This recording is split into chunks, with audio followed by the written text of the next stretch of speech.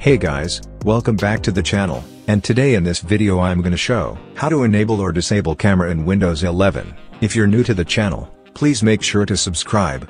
And now, let's begin. In the first method for the process, I'll be using the Settings app. Now, open the Settings app, and go to Bluetooth and Devices option. Here, click on Camera Settings.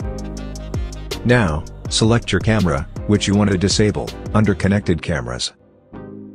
Here you'll see an option for disabling the selected camera, click on Disable, and then click on Yes, in the prompt.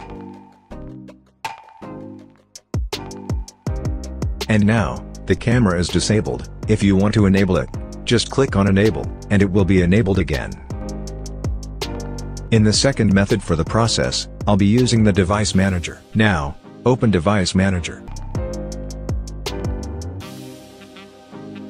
Now, expand the Cameras section. Select the camera, which you want to disable, and then right-click on it. Now, from the context menu, select Disable Device, and click on Yes when prompt appears.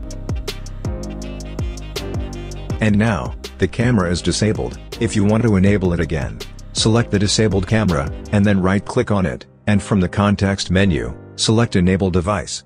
And your camera will be enabled again. So, that was it. Hope it was useful. Consider like for the video, subscribe to the channel, and if you have any questions, just comment down below. Thanks for watching, and have a great day ahead.